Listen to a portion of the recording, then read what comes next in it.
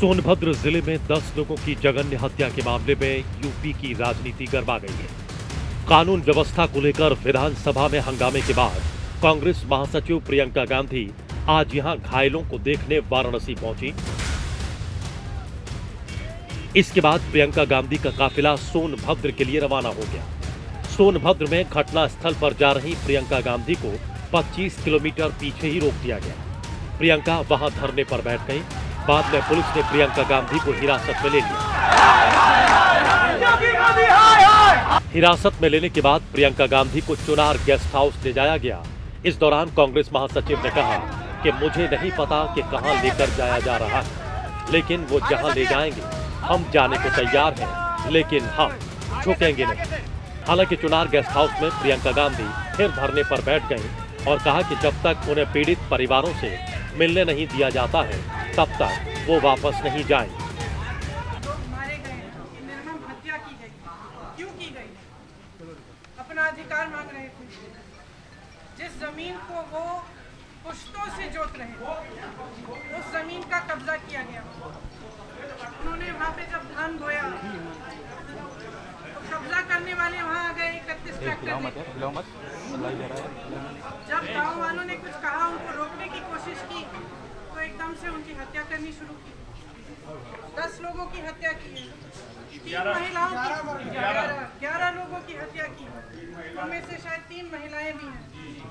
मैं अभी अस्पताल से आई वहाँ छह लोग हैं। एक सत्रह साल का बच्चा है। सत्रह साल का बच्चा है उसको यहाँ पे गोली लगी है। उसकी माँ अगले पलंग पे लेटी है। उनको भी गोली लगी है। उनके सर पर ईंट मारा गया। लाठी से उनका हाथ तोड़ा गया। इस प्रदेश की कानून व्यवस्था कहाँ है? हादसे से पहले फ़ोन किया गया था पुलिस को। तीन दिन पहले गाँव वाले गए थे कि ऐसा हो जाएगा।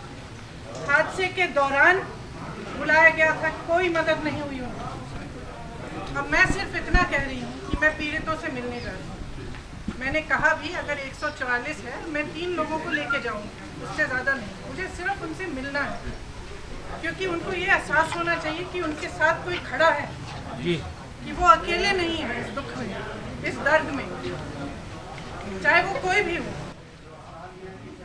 जब मैं मिर्ज़ापुर पहुँची तो मुझे रोका गया कि आप मिर्ज़ापुर नहीं जा सकते।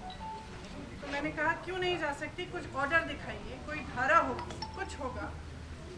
मिर्ज़ापुर में उस समय कोई धारा नहीं सिर्फ़ सोनभद्र में 144 थी। उसको भी मैं कह रही थी कि मैं उसका उल्लंघन नहीं करूँगी। शांतिपूर्वक जाऊँगी तीन लोगों को लेकर तो कौन सी बड़ी आपत्ति आ गई? तो जब उन्होंने कहा कि कोई आपको जाने नहीं देंगे लेकिन कोई ऑर्डर नहीं है ऊपर से फ़ोन आया है तो मैंने कहा फिर तो मैं जाऊँगी। क्योंकि आपने मुझे कोई कागज़ नहीं दिखाया कोई ऑर्डर नहीं दिखाया कोई एक्ट नहीं दिखाया। तो जब मैं जाने लगी तो फिर मुझे गिरफ़्तार करके यहाँ ले आए। तो मैं यहाँ इंतज़ार करूँगी लेकिन मेरी ये इच्छा है कि जब तक मैं उन पीड़ितों से उनके परिवारों से नहीं मिलूँगी तब तक मैं नहीं जाऊँगी।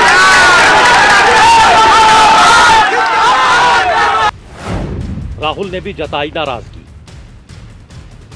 सोनभद्र ज़िले में ज़मीन विवाद में मारे गए लोगों के परिवार से मिलने जा रही कांग्रेस महासचिव प्रियंका गांधी को हिरासत में लिए जाने पर राहुल गांधी ने भी ट्विटर पर नाराज़गी जताई। उन्होंने कहा कि यूपी के सोनभद्र में प्रियंका को गैर कानूनी तरीके से अरेस्ट करना विचलित करने वाला है। उन्हें मारे गए दस आदिवासियों के परिवार, जिन्होंने अपनी ज़मीन खाली करने से इनकार कर दिया था, मिलने से रोकना सत्ता का दुरुपयोग है। ये साबित करता है कि बीजेपी सरकार में यूपी में किस तरह से असुरक्षा का माहौल बनता जा रहा है। उधर मुख्यमंत्री योगी आदित्यनाथ ने इस पूरे विवाद के लिए कांग्रेस सरकार को जिम्मेवार ठहराया और कहा कि इस घटना की नींव 1955 में ही पड़ गई थी, जब कांग्रेस की सरकार थी। सोनभद्र के विवाद के लिए 1955 और उन्नीस सौ नवासी की कांग्रेस की सरकारें दोषी हैं। मुख्यमंत्री ने कहा कि सोनभद्र में जो घटना घटी है, उसकी नींव पचपन में ही रख दी गई थी। इस पूरे प्रकरण में ग्राम पंचायत की ज़मीन को 1955 में आदर्श सोसाइटी के नाम पर दर्ज किया गया था। इस ज़मीन पर वनवासी समुदाय के लोग खेती करते थे। बाद में ज़मीन को किसी व्यक्ति के नाम उन्नीस सौ नवासी में कर दिया गया था। हालाँकि मुख्यमंत्री ने ये स्वीकार किया कि अधिकारियों ने इस मामले में लापरवाही बरती। उन्होंने बताया कि वाराणसी जोन एडीजी पूरे प्रकरण की जाँच कर 10 दिन में रिपोर्ट सौंपेंगे। सरकार की शासकीय भूमि को और ग्राम पंचायत की भूमि को किस तरीके से हड़पने का कार्य किया है, ये एक गंभीर प्रकरण है और इस मामले में अपर मुख्य सचिव राजस्व की अध्यक्षता में एक तीन सदस्यीय कमेटी हम लोगों ने बनाई है, जिसमें प्रमुख सचिव श्रम और आयुक्त तो विंध्यांचल मंडल मिर्जापुर को इस कमेटी में रखा गया है कि ये 1955 से लेकर के अब तक की राजस्व से संबंधित इन सभी प्रकरणों में कहाँ कहाँ पर किस किस स्तर पर शिथिलता बरती गई है, इससे संबंधित जाँच 10 दिन के अंदर सरकार को उपलब्ध करवाएँगे। और इसमें कोई व्यक्ति कितना भी बड़ा क्यों न हो, हम लोग उन सभी के खिलाफ कार्रवाई करेंगे, जिन्होंने भी शासन की भूमि को अवैध तरीके से या फिर गलत तरीके से उसमें अभिलेखों के साथ छेड़छाड़ करके अपने नाम से करने का प्रयास किया। उनके खिलाफ तो कार्रवाई इसके बाद होगी ही।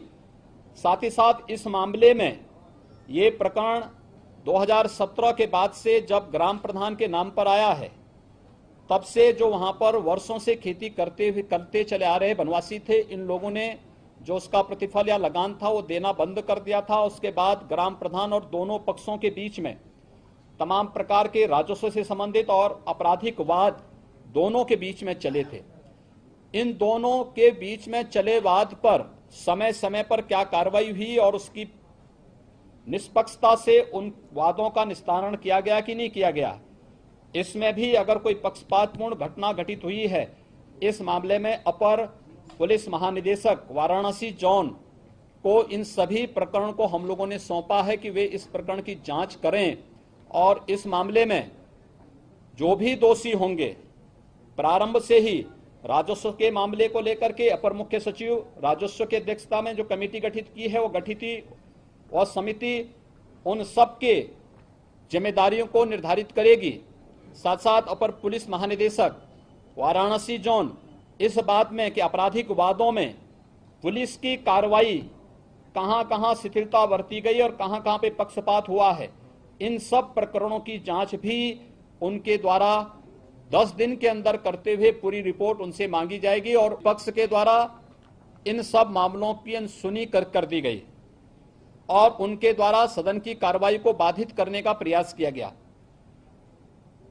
इस पूरे प्रकरण के लिए 1955 और उन्नीस सौ नवासी में भूमि संबंधी जो भी ये गलत अभिलेखों में दर्ज करने या फिर गलत तरीके से कुछ लोगों के नाम पर चढ़ाने की पूरी कार्रवाई उस समय कांग्रेस की सरकार उत्तर प्रदेश के अंदर थी और उस सरकार में किस प्रकार से भूमाफियाओं को और शासकीय भूमि को या सार्वजनिक भूमि को हड़पने के कार्य कितने बृहद स्तर पर होते रहे, उसका एक उदाहरण यह भी सामने आया है।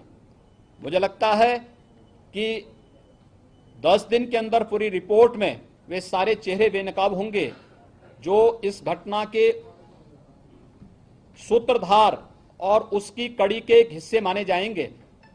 प्रदेश सरकार इस पूरे प्रकरण की विस्तृत जाँच करा रही है विधानसभा के अंदर जमकर हंगामा।